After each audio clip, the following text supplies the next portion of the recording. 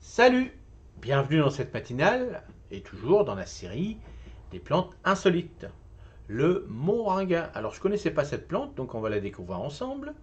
Le moringa, souvent surnommé l'arbre de vie, pour ses nombreuses vertus nutritionnelles et médicinales, est une plante fascinante qui gagne en popularité partout dans le monde, surtout dans les régions où l'accès à une alimentation saine et variée peut être limité. Le moringa, l'arbre de vie. Origine et histoire.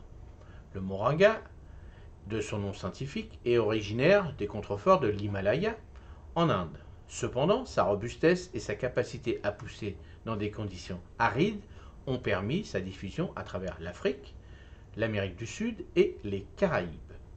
Depuis des millénaires, le moringa est utilisé dans la médecine traditionnelle indienne qui lui attribue la capacité de traiter plus de 300 maladies. Culture et entretien. Le moringa est incroyablement facile à cultiver, ce qui le rend idéal pour les projets de reforestation et de lutter contre la malnutrition. Il préfère les climats chauds et ensoleillés, mais peut s'adapter à de nombreux environnements, à de nombreux environnements. Il est nécessaire, il nécessite peu d'eau une fois établi et peut même tolérer des brèves périodes de sécheresse. Pour le cultiver, on peut semer des graines directement en pleine terre ou planter des boutures de tiges. Il pousse rapidement, offrant une récolte potentiellement en feuilles dès les premiers mois. Bah, super. Propriétés nutritionnelles. Les feuilles de moringa sont extrêmement nutritives, riches en protéines, en vitamines A, B et C, et en minéraux tels que le fer et le magnésium. Leur profit, leur profit complète en acide animé essentiel et rare pour une plante, ce qui en fait une source de protéines végétales exceptionnelle.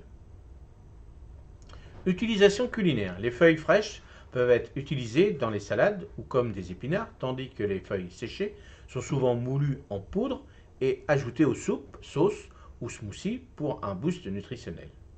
Les graines peuvent être consommées comme des légumineuses ou pressées pour produire une huile de cuisine.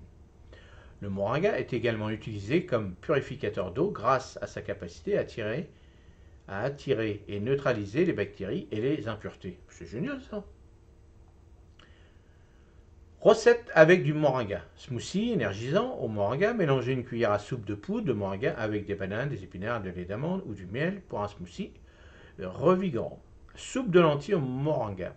Intégrer des feuilles de moringa fraîches ou séchées à ta soupe de lentilles favorise un plat réconfortant et nutritif. Salade de quinoa au moringa. Ajoute des feuilles fraîches de moringa à une salade de quinoa avec des légumes de ton choix, des noix, une vinaigrette au citron pour un repas léger et sain. Conclusion, avec ses multiples utilisations et ses bienfaits impressionnants pour la santé, mérite amplement son surnom d'arbre de vie.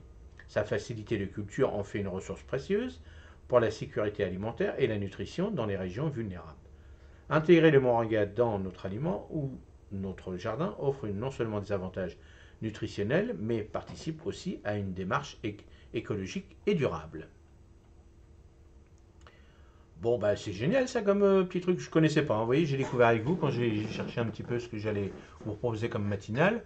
Et euh, bah, s'il y a des personnes qui ont déjà cultivé le moringa, donc, bon, bien sûr, c'est une plante euh, d'Afrique, et bon, après, on peut peut-être la cultiver comme chez nous, hein, la protéger l'hiver ou juste en plante annuelle, pourquoi pas. Et dites-moi si vous, avez déjà entendu parler de cette plante, et puis bah, si vous avez entendu quelqu'un qui vend des graines, par exemple, ou pas, si vous avez l'occasion d'en semer chez vous pour vous amuser un petit peu, puis à voir. Alors, je pense qu'on doit trouver ça en poudre, tout ça, dans les, dans les magasins spécialisés, les magasins bio ou les choses comme ça. Donc euh, voilà, c'est une plante bah, que j'ai découvert en même temps que vous. Et puis bah, il y en a plein d'autres, hein, mais bon voilà. Donc euh, bah, dites-moi dans les commentaires ce que vous en pensez. Et puis bah, moi je vous dis de passer une excellente journée. Et puis bah, je vous dis à demain matin. Salut, merci.